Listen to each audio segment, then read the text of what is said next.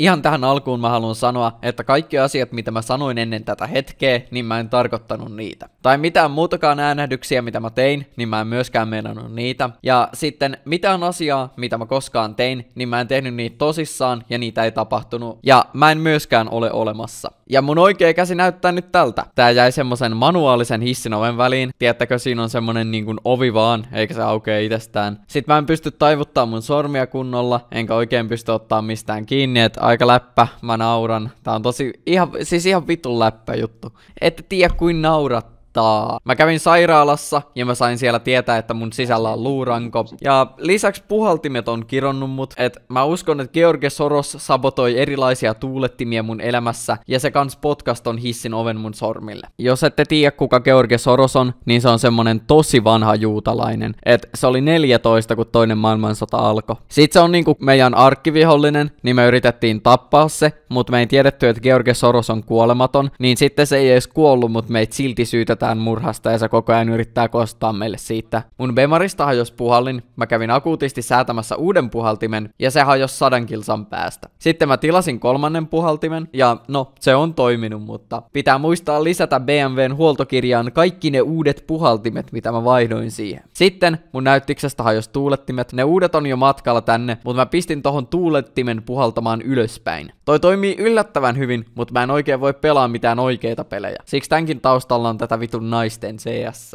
No niin, no niin, vastaillaan nyt niihin kysymyksiin sit, ok. Onko tyllerö vitujen vitut aina valmiiksi märkinä kun saavut Smarketin pihaan BMWllä? No ensinnäkin, me ei käydä missään vitun S-marketeissa, kun sieltä ei saa ES. Ja toisekseen, naiset ei ymmärrä hyvien autojen päälle, mutta Heikin pimppi saattaa olla märkä bemareista. Aiotko pitää Bemarin ex Dodge Dodo? Eli homman nimi on se, että mä haluaisin myydä kautta vaihtaa Bemarin jossain vaiheessa johonkin tehokkaampaan takavetoautoon tai nelivetoautoon. Noi diesel-Bemarit kiinnostaa, koska saastutus jänee. Lisäksi mä oon vetänyt tuolla Bemarilla penkasta irti jo Audin, Mersun kolme kertaa ja Hyundain kolme kertaa. Että Onneksi omistan traktorin. Onko Bemari kallis pitää? BMWn vakuutukset on 680 vuodessa ja vero oli euro 60 päivässä, eli joku 600 vuodessa. Mut miettikää, että sais yhden ESN enemmän päivässä tollakin rahalla. Sitten noi osat ei ole ihan hirveän kalliita, vähän joo kalliimpia kuin Mondiossa ja Volvossa, mutta ei kauheasti. Ja sitten nois E91 on vielä sähköt sen verran yksinkertaisia, että niitä pystyy vielä ymmärtämään ja tota autoa pystyy korjaamaan itse. Pitää vaan katsoa, että ostaa ton Bemarin oikealla moottorilla, että ei sitten vituta.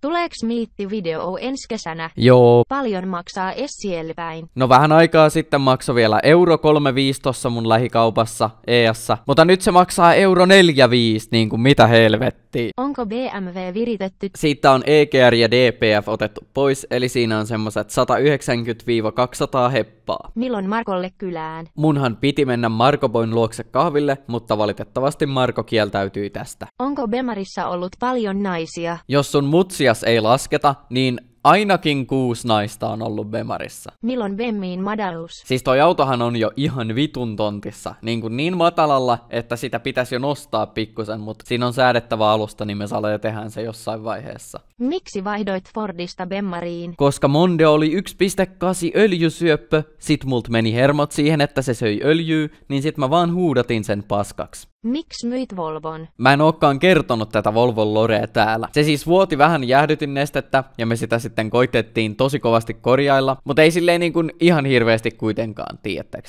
Sitten yksi päivä mä olin just lisännyt lisää jäähäriä sinne ja sitten oli semmonen niin kuin oikeesti tosi kuuma päivä. Ja mä sit ajoin siinä motaria himaan, kun Volvo kilkkasi kiinni. Ja sit mä jätin sen sinne Valkeakosken rampille tien varteen ja no se oli hienottu vittu ja romutettu, että rest in peace, ralli Volvo. Kenen toi halli on? Toi on siis Heikin Fajan omistama halli, et sen takia siellä on helikoptereita, koska Heikin Faija omistaa yrityksen, joka korjaa helikoptereita. Ja me saadaan sit käyttää sitä, se on tosi hyvä, kun siellä on niin autonosturi ja rengaskone ja renkaiden tasapainotuskone ja niin kaikkea tommosta eeppistä luuttia. Siinä about oli kaikki hyvät kyssärit. BMW-projekti on tulossa sitten kun sitä jaksaa taas jatkaa. Tykätkää jos tykkäsitte ja tilatkaa jos tilautututtaa. Tälle kanavalle on nyt jostain syystä yhtäkkiä spawnannut aika paljon tilaajia, että moi kaikille. Ja joo, tää oli, tää oli tässä. Hei hei pojat!